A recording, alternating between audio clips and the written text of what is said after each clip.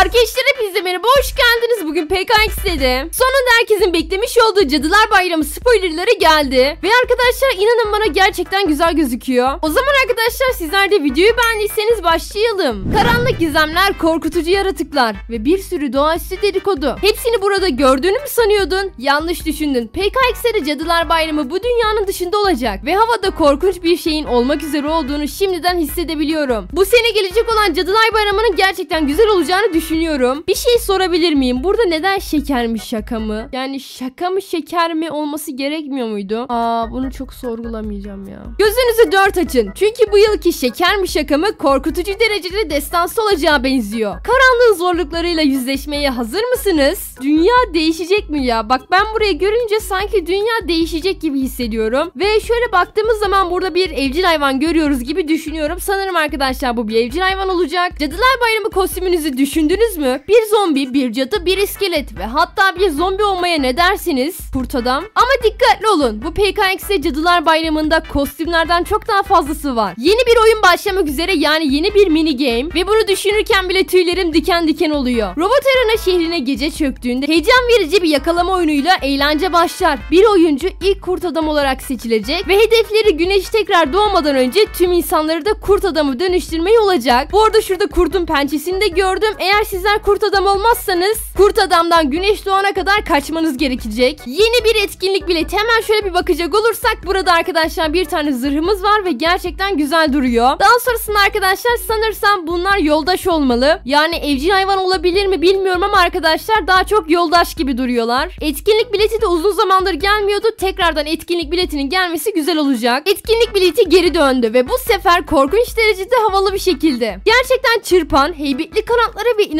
bir uçma gücüyle evrenimize gelen en güzel eğlenceli zırhlardan birisi. Umarım arkadaşlar etkinlik bileti de güzel bir fiyatı satılır ve herkes de alabilir. Hediye ver yoksa karışmam. Cadılar Bayramı boyunca her gün mağazaya girilebilir ve kullanabileceğiniz yeni ücretsiz bir hediyeye göz atabilirsiniz. Hediye günlük olarak kişiden kişiye değişir. Başka bir deyişle siz ve arkadaşlarınız birbirinden farklı hediyeler alabilirsiniz. Genel olarak arkadaşlar bu hediyeler karışık verilecek ve hediyeler son derece tatlı olabilir. Sonuçta hepsi bir şans meselesi. En şanslı olanlar bile premium geçiş kazanıyor demiş. İyi bir ödül alma şansımın artması için her gün hediyemi almayı unutmayacağım. Buradan da arkadaşlar bizlere güzel bir detay vermiş. Eğer oyuna her gün giriş yaparsanız ve her gün hediyenizi alırsanız bir sonraki gün arkadaşlar daha iyi bir hediye alma şansınız artıyor. Özellikle arkadaşlar ücretsiz bir şekilde verilmesi ve herkese de farklı farklı şeyler verilmesi çok güzel bir detay olmuş. Şimdi gizem ve korkunun her köşede pusuya yattığı yeni perili köşke girmeye hazır olun. Bu malikane herkesin cesaretini sınayacak korkunç sürprizlerle dolu. Merdiven üst kata çıktığı için ve şuralarda da odalar olduğu için kesin bir şey diyemeyeceğim. Ama arkadaşlar ev gerçekten büyük olacak gibi duruyor. Ve daha dikkatli olanlar için malikanenin her yerine dağılmış. Sizi daha da karanlık ve daha esrarengiz bir yere taşımaya hazır gizli bir geçit var. Cadılar Bayramı'nın özel olarak arkadaşlar ev geldiği gibi aynı şekilde eşyalar da gelecek. Ama en ilgi çekici parça gizli bir sır saklayan bir tablo. Onu keşfedebilir misin? Sanırım arkadaşlar bahsedilen tablo bu olmalı. Ama arkadaşlar şurada bir adam var veya bu robot da olabilir. Arkada bir dönme dolap var. Şöyle bir elbise var bu arada. Bu şekilde bir elbise de belki oyuna eklenebilir. Bu saç ve bu elbise de eklenebilir. Herkes hayalet avlayabilir mi? Bu hayaletleri kim serbest bıraktı? Öylesiye korkuyorum. Nereye bakarsam bakayım sadece beni korkutmaya çalışan bu küçük yaratıkları görebiliyorum. İnsanların kaç tane hayalet yakaladığını gösteren arkadaşlar bir tablo olacakmış. Yani arkadaşlar en çok hayaleti yakalayan kişi de bir ödül alacakmış. Gelin devam edelim. Tablo demişken